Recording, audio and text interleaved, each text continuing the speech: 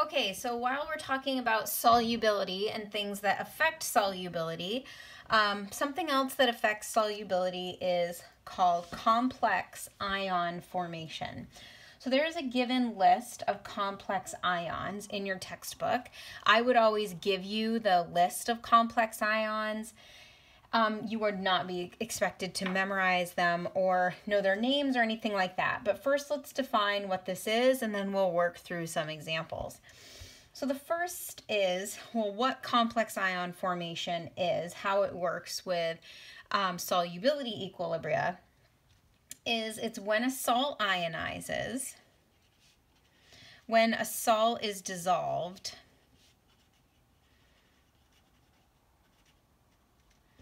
in a solution, and one of the ions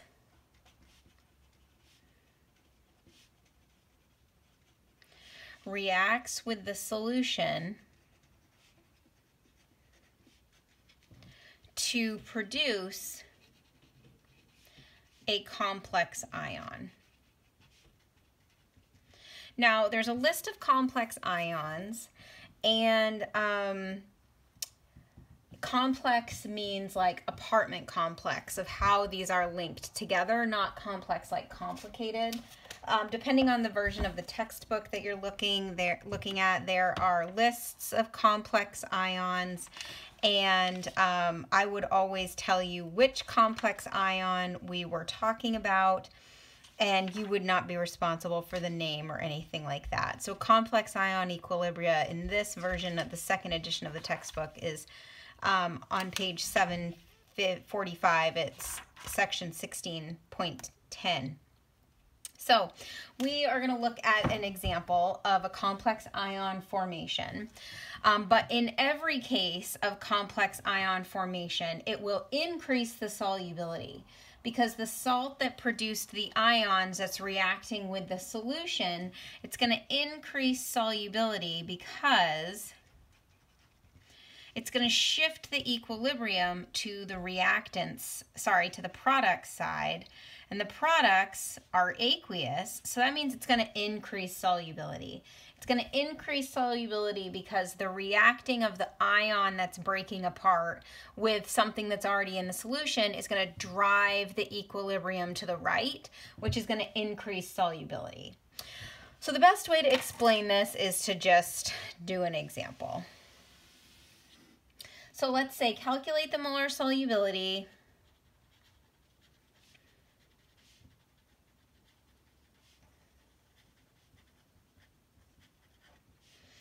of silver 1 bromide in 1.0 molar ammonia. And it tells you in the problem that the KSP of silver 1 bromide is 5.0 times 10 to the negative 13th.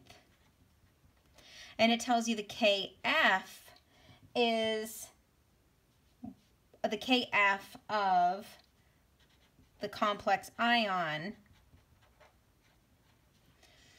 is 1.7 times 10 to the 7th. So don't forget, we've been doing a lot of these equilibrium constants that have been very um, small numbers. This KF is the, um, it's the equilibrium constant of formation, formation of the complex ion is a positive number. So you are going to be in the habit of doing a lot of negative exponents. Just don't forget and accidentally put a negative up here or when you're in your calculator type a negative. This is a positive exponent. These comp complex, uh, complex ion formation constants are big numbers. Big numbers because they favor the products. Okay, so I'm telling you what the complex ion is. This is the complex ion. This is the KF of the complex ion. This is the salt, silver bromide, and you're dissolving it in um, an ammonia solution. So as this silver bromide breaks apart, the silver ions are going to combine with the ammonia in the solution to form this complex ion. So two things are happening.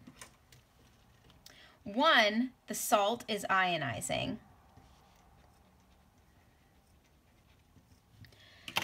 And two, the complex ion is forming.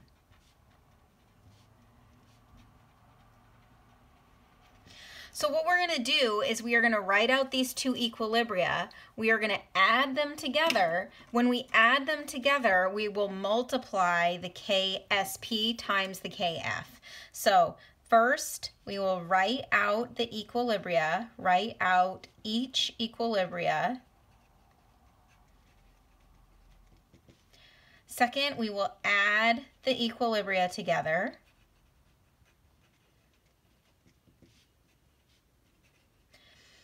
And then when we add the equilibria, we will multiply the KSP times the KF to get a new K for the reaction. Okay, so that's what I'm going to do. So step one, the salt is ionizing. So let's write that out.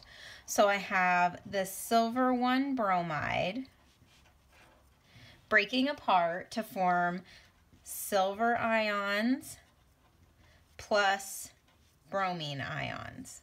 That's the first step. And the KSP of that reaction is 5.0 times 10 to the negative 13th.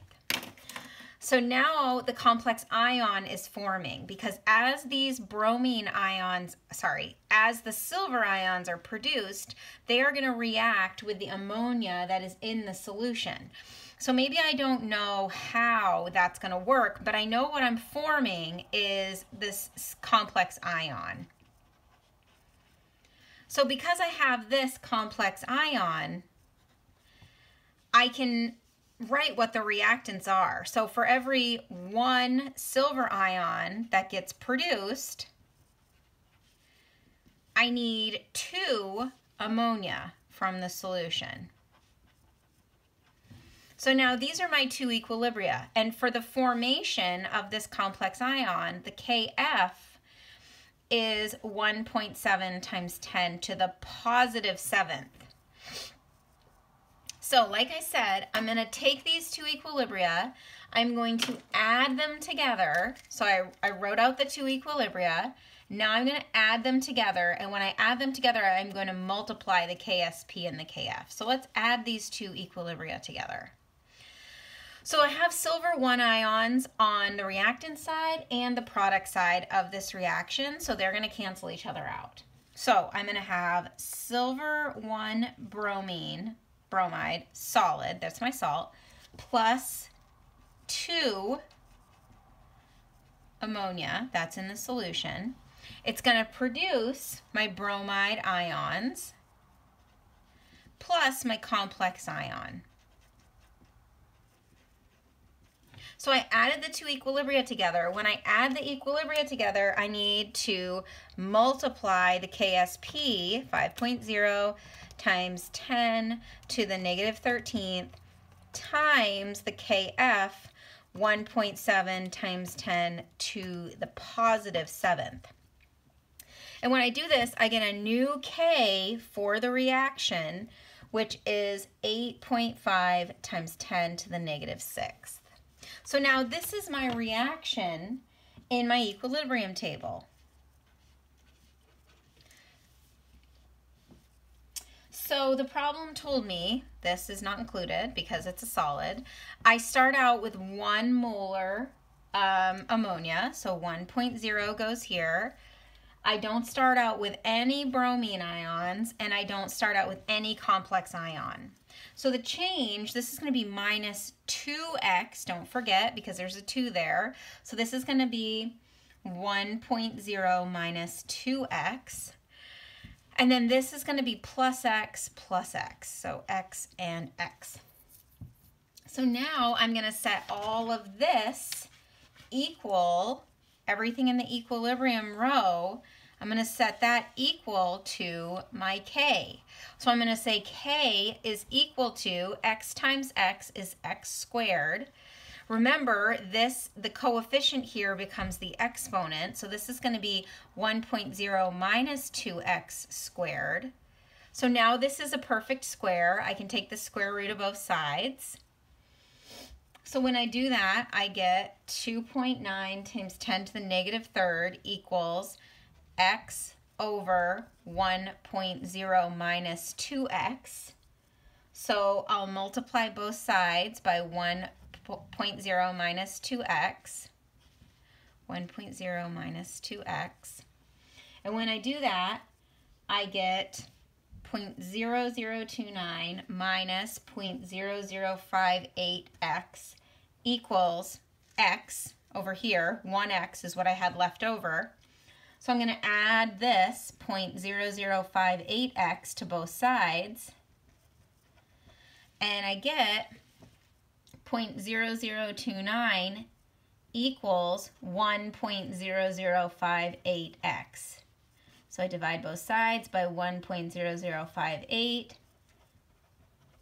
and I get an x of 2.9 times 10 to the negative third. Remember what x is. x is the molar solubility.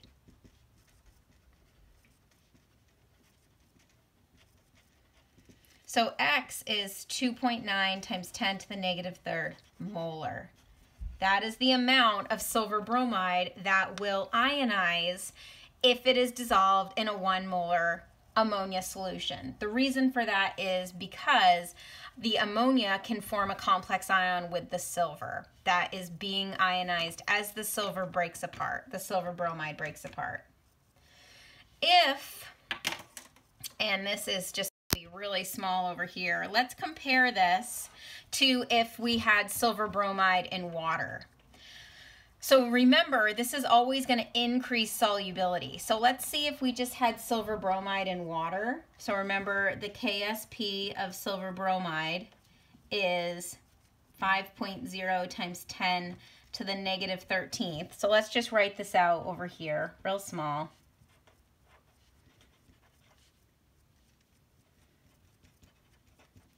So this doesn't count. This I have 0, 0, plus x plus x, x, x. So essentially it's going to be 5.0 times 10 to the negative 13th equals x squared. If I take the square root of both sides of this, x, or molar solubility, is 7.1 times 10 to the negative 7th molar.